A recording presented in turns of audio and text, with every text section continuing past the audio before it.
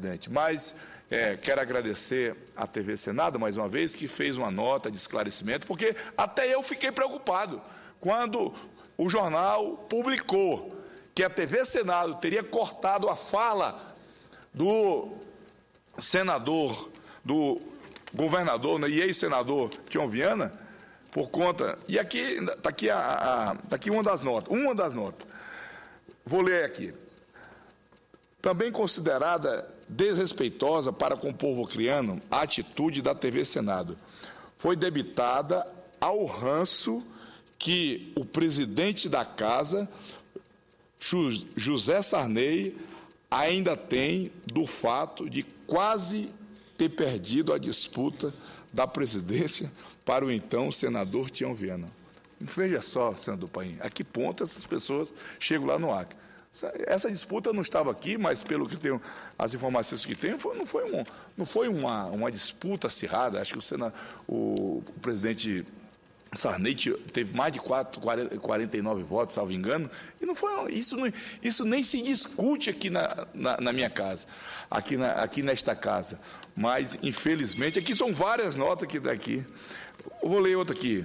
Mesmo com o desrespeito da TV Senado, a TV Senado, o de respeito, a, a, TV Senado passou quase um, uma semana lá no Acre, fazendo um especial para o governo, um, um, especial que foi exibido na TV Senado, foi exibido aqui neste plenário no dia da sessão, e a TV Senado ainda desrespeitou, no entendimento aqui do jornalista. Mesmo com o desrespeito da TV Senado, que retirou do ar a fala do governador para colocar notas poucas expressivas de um pretenso noticiário nacional é, da emissora.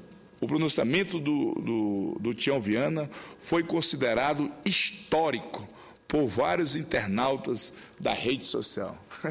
Vocês veem aqui como é que é, é senador Wellington, o senhor que é do PT, mas eu lhe conheço, os seus procedimentos são exatamente o contrário do, do, do PT do Acre. Eu, e, eu fico aqui é, é, preciso tornar público isso, porque as pessoas precisam saber o que está acontecendo no Acre. Senador Petecal, me permite uma parte? Quando Concedo uma parte ao nobre senador Aníbal Diniz. Senador Petecão, é, em primeiro lugar, eu, eu, eu me sinto muito à vontade em dialogar é, politicamente com Vossa Excelência, porque eu gosto de fazer política de maneira transparente. E Vossa Excelência tem deixado bem claro que é adversário aberto é, do nosso projeto lá no Acre. E eu procuro ouvir com muita atenção cada um dos, dos seus argumentos para justamente tentar colocar é, os devidos pingos nos is. Primeiro lugar, em nenhum momento a gente quer passar para a população a ideia falsa de que o Acre é o paraíso. O Acre não é um paraíso. Ainda hoje eu fiz o pronunciamento, deixei com muita clareza a minha posição de que nós temos desafios extremos a serem superados no Acre. Nós temos indicadores sociais completamente desfavoráveis. Veja só, nós tínhamos um índice de analfabetismo de 25%. Houve muito trabalho, mas ainda hoje nós temos mais de 13% de analfabetos no Acre. Nós temos um índice de pobreza absoluta superior a 18%. Nós temos uma ponte sobre o Rio Madeira que nos mantém isolados do resto do Brasil. E hoje nós já temos um, uma, uma, uma informação do Ministério dos Transportes de que não está na ordem das prioridades daqui para 2014 tocar nessa ponte sobre o Rio Madeira. Problemas que exigem de todos nós completa unificação para tentar resolver. Nossa economia é uma economia deficitária. As empresas que atuam no Acre atuam basicamente graças à indução da política econômica desenvolvida pelo Estado, porque se não tivesse estaria muito pior. E Vossa Excelência é testemunha de que o Acre estava completamente inviável 13 anos atrás, quando ganhamos o governo da floresta, com Vossa Excelência, nosso aliado, que nos ajudou naquele processo. Então, a gente não pode é, é, é separar, a gente não pode é, é, é, não reconhecer aquilo que avançou. Quando a gente diz que avançou muito, que a gente conseguiu manter esses 87% da floresta preservados e que é preciso encontrar uma forma de dar sustentação econômica para esse projeto, justamente para poder melhorar a qualidade de vida do nosso povo e manter a preservação da floresta, é um desafio posto e a gente está permanentemente levantando a voz quanto a isso. Com relação aos recursos, fruto de financiamento do BNDES. A gente só tem financiamento do BNDES porque nós conseguimos tornar o Acre um estado adimplente. Ninguém consegue financiamento junto ao BNDES ou, aos organismos internacionais se não tiver certificação de adimplência absoluta, se não tiver comprovação de um desempenho fiscal favorável. Hoje mesmo, quando o Brasil inteiro, os estados do Brasil inteiro estão chorando porque devem duas, três vezes o seu produto interno bruto, o Acre consegue ainda obter financiamento. Então, isso é uma prova de que a gente mudou e mudou para melhor nos últimos anos. Temos problemas? Temos. Agora, por exemplo, quando Vossa Excelência diz que a presidenta Dilma perdeu no Acre, e isso é porque nós fizemos a, a, a, as ações de governo mostrando mais as marcas do governo e não o do governo federal, eu acho que Vossa Excelência entra numa seara que nos ofende pelo seguinte, porque nós fizemos a campanha da presidenta Dilma e hoje somos no, no, no, caso do discurso de Vossa Excelência, responsabilizado pela derrota da presidenta Dilma. E Vossa Excelência, que fez campanha contra a presidenta Dilma, no palanque do PSDB, vem aqui no, no, plenário cobrar a posição como se nós tivéssemos a culpa pela nossa aliada ter tido menos votos.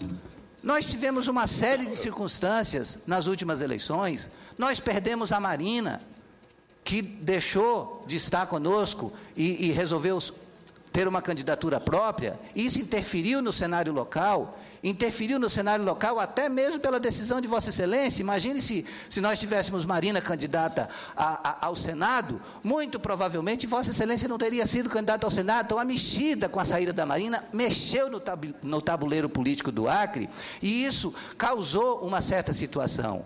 Nós tivemos uma campanha para o governo extremamente acirrada. O PSDB do Acre teve 49,5% dos votos contra os 50,05 do governador Tião Viana, do PT e da Frente Popular. Quer dizer, nós tivemos toda uma alteração eleitoral. O, o senador Jorge Viana é, é, é, e Vossa Excelência, que foram eleitos senadores, tiveram praticamente a mesma votação, ou seja, teve uma disputa muito acirrada e o nosso segundo candidato ao Senado perdeu. Quer dizer, o conjunto do comportamento eleitoral do Acre foi muito diferente nessas eleições. É algo, é, é, é, digamos que, completamente novo na política do Acre? Não. O eleitor do Acre sempre foi um eleitor muito consciente. Ontem mesmo nós mostramos que Guilmar Santos lutou para elevar o Acre a Estado. Na primeira eleição que ele disputou, para ver quem que seria o governador, ele perdeu. Na eleição em que Vossa Excelência foi eleito deputado estadual, em 1984, o eleitorado do Acre votou em Nabô Júnior para o Senado, votou em Orleí Cameli do PP para o governo e votou na Marina Silva do PT para, para senadora. Ou seja, a gente é, teve sempre uma posição do eleitorado do Acre de dividir um pouco as, as forças. E na última eleição também aconteceu isso. Senador. Vossa Excelência, que era adversário, foi eleito senador. O senador Jorge Viana é, é, foi eleito também, mostrando uma divisão de forças, e entre os dois candidatos ao governo do PSDB e do PT, o povo do Acre manteve o governo do PT. Agora, com relação à presidência, houve uma, uma postura realmente diferente, que a gente não tem uma explicação assim direta é, nesse sentido. Sabemos que temos problema no sentido da interpretação dessa posição do eleitorado, mas não podemos é, é, simplesmente atribuir a culpa à nossa atitude enquanto governo, quando na realidade há uma conformação de forças bem diferenciada. O próprio PMDB, que é um aliado nacional, e Vossa Excelência testemunha disso, o PMDB é um aliado nacional mas lá no Acre é adversário do nosso projeto e fez campanha contra a presidenta Dilma. O PMDB inteiro fez campanha contra o vice, o vice-presidente é, é, da República, Michel Temer, no Acre, por birra contra o nosso projeto. O e agora, nós sermos, nós sermos responsabilizados pela derrota da presidenta Dilma por uma pessoa que fez campanha contra a presidenta Dilma, me parece um pouco demais. E exatamente por isso eu é, é, voltei aqui ao plenário justamente para parteá-lo, para tentar deixar essa questão é, um pouco mais clara é, é, junto aos nossos é, telespectadores e ouvintes da, da TV e da Rádio Senado. Muito obrigado pela, pela atenção da Vossa Senador, Excelência de, me de permite, ter me dado a parte. Se o senhor me permite, eu ainda gostaria de conceder aqui um tempo que for necessário, se a presidente pedir, para que o senhor comente essas agressões por parte do, do jornal Página 20 contra o presidente do Senado, onde ele acusa o presidente do Senado de ter cortado o, o, o microfone, cortado a fala do, do, do então governador Jorge Viana. O senhor, o senhor gostaria de comentar isso? Olha, é, senador Petecão, é, eu, eu sou a favor de total liberdade de imprensa com responsabilidade. Por isso, eu sou a favor de que cada um responda pelos seus atos.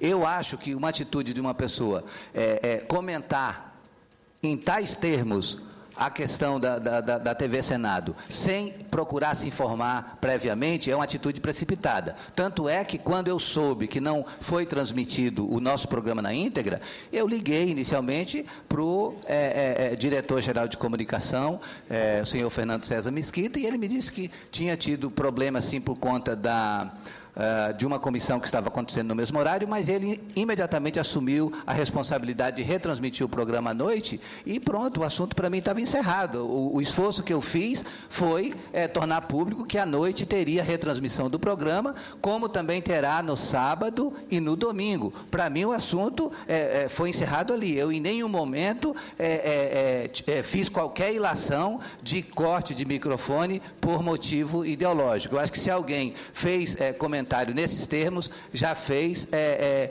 é, é, de maneira precipitada. Essa é a minha opinião. Não, eu, tô, eu, eu trouxe esse assunto aqui, eh, porque nós temos que é, corrigir algumas injustiças. Está aqui no jornal que tem uma relação é, direta com o governo. Não sai uma nota nesse jornal aqui que não tenha o aval do assessor de comunicação do governo. E isso não é. eu espero que não, o que eu esteja dizendo não seja do conhecimento do senhor. Até porque nós moramos no Acre, todos nós nos, nos conhecemos e, e senhor sabe como é que, do que é que eu estou falando. Aqui do jornal, página 20, que é, é, é, chamado por todo, de página 13. Quanto a essa questão da Dilma, é, senador Aníbal diz, eu tô, eu tô, eu tô buscando, eu estou buscando, eu estou buscando aqui é, é, algum aonde, por que que o povo do Acre não votou na presidente Dilma. Eu estou aqui agradecendo a presidente Dilma pelos benefícios. Isso é o mínimo que eu posso fazer. O mínimo que eu posso fazer é vir a essa tribuna aqui e ter a humildade de agradecer aos benefícios. E quando eu atribuo, não estou de forma alguma dizendo que o governo do Estado está deixando de fazer. E se vocês não quiserem divulgar, eu ainda acho é melhor que vocês não divulguem. Agora, eu não posso deixar de reconhecer que os recursos que estão chegando no Estado têm uma participação direta do governo federal. Eu faço, é, eu, eu defendo o governo, o governo da presidente Dilma aqui nessa casa, exatamente porque é, eu entendo, porque acima dos interesses políticos partidários, não é por conta das divergências que nós temos lá no Estado, né, que eu vou deixar de reconhecer que o governo federal tem ajudado. Eu estou tentando buscar aqui um entendimento, eu quero, eu quero saber por que, que o, o, o povo do Acre, porque não justifica, no Amazonas, a presidente Dilma teve 90% dos votos. No Acre, a presidente Dilma perdeu a eleição. Então, eu, é, é, essa, é esse entendimento, é esse entendimento, e eu acho que o senhor deveria me agradecer por eu estar tentando encontrar uma alternativa, e eu, e eu acho que um, um dos problemas é esse. Não se divulga as ações do governo federal. E essa ação que o senhor diz, o senhor me falou o óbvio. Todo mundo sabe que o Acre só poderia se endividar se ele ainda tivesse um poder de endividamento. Agora, se não tivesse um apoio do governo federal, nós não conseguiríamos esse recurso, porque o recurso é do BNDES.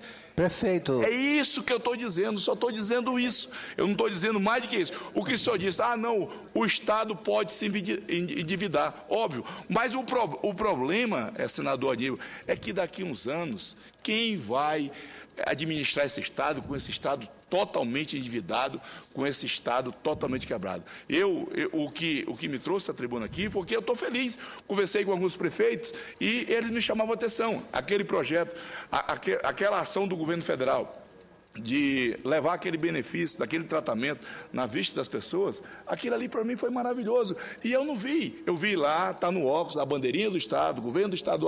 Eu não vi. Se o senhor fez isso aqui, me desculpe, mas se, se fez, nós temos que fazer todo dia. Agradecer, porque aquele benefício do governo federal é, ajudou milhares de acrianos que precisavam é, da, daquele benefício naquele momento. Então, o, o, o que eu estou fazendo aqui é, é agradecendo é, os, o, o, apoio que a presidente Dilma tem destinado a, ao, ao, ao, governo de vocês, ao governo do PT. Com, e automaticamente esse, esse benefício indo ao governo do PT vai estar chegando à população do meu estado. Porque eu não faço a política, aquela política pequena, como é feito é, pelo, pelo governo do estado, que em algumas prefeituras, aonde não tem um governo do PT, eles sequer assinam um convênio com os prefeitos. Não, eu acho que nós temos que deixar a política de lado um pouco e tratar o Estado como um todo. Até porque a, a, política não é tudo. Nós temos que entender que acima dos interesses políticos partidários está os interesses da população do Estado. Pois é, senador eu quero, eu quero dizer ao senhor é, que, da minha parte, não fica nenhuma mágoa. Agora, eu eu fiquei sinceramente aqui é, preocupado com essas calúnias que foi, é, que foi aqui publicada nesse jornal, que é, o senhor conhece muito bem esse jornal, que é o jornal Página 20, é um jornal 100% governista, e, e, o jornal poderia muito bem ter hoje é, feito uma nota aqui, é, pedindo desculpas ao presidente dessa casa pelo que foi feito com a sua pessoa. Obrigado, presidente. Pela, pela ordem, senhor presidente. Vossa Excelência tem direito pela ordem, baseado no artigo 14, é. porque foi citado. É, não, eu, eu, só queria reforçar aqui, em relação a essa questão que o senador Petecão está tá apresentando, porque o senador Petecão, é, é, primeiro de tudo, ele é um político extremamente hábil, ele, ele, ele tem uma performance fantástica de se fazer vítima, ele diz permanentemente que não aparece em nenhum veículo de comunicação é, do Acre, mas a única emissora que tem um correspondente permanente aqui na tribuna do Senado é, faz acompanhamento de todos os parlamentares, seja da Câmara Federal, seja aqui do Senado, e estão permanentemente mostrando as ações de cada um.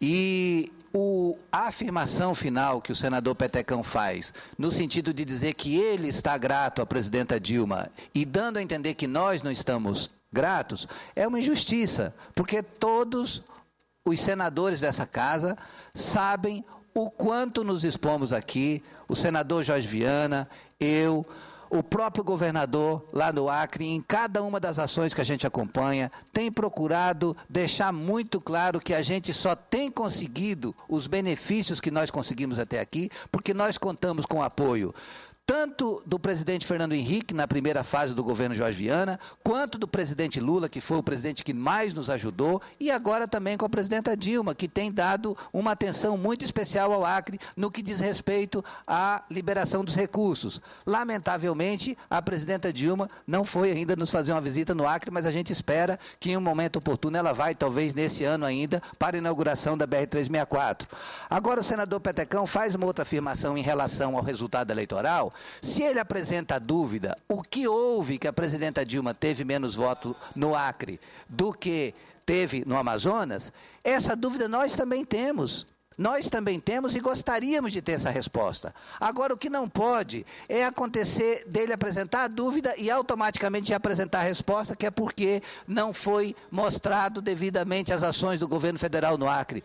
Pelo contrário, a gente tem se dedicado absolutamente a essa ação de mostrar a ação do governo federal, de mostrar todos os avanços que a gente conseguiu a partir desse bom diálogo que a gente tem com o governo federal. Agora, infelizmente, houve um resultado eleitoral adverso para nós e para a presidenta Dilma, e a gente não tem uma explicação objetiva do que, que aconteceu. Agora, eu posso afirmar que eu pedi voto para a presidenta Dilma no Acre. O senador Jorge Viana pediu voto para a presidenta Dilma no Acre. Governador Tião Viana pediu voto para o presidente Dilma no Acre. Agora, o PMDB não pediu voto para a presidenta Dilma no Acre. O senador Petecão não pediu, pediu para o PSDB. Então não pode uma pessoa que fez campanha contra agora querer nos responsabilizar pelo insucesso. Aí fica muito é, é, difícil e a gente precisa é, realmente ter esse posicionamento para que a sociedade do Acre, a sociedade do Brasil, saiba que tem uma oposição que é, é, é, tem bastante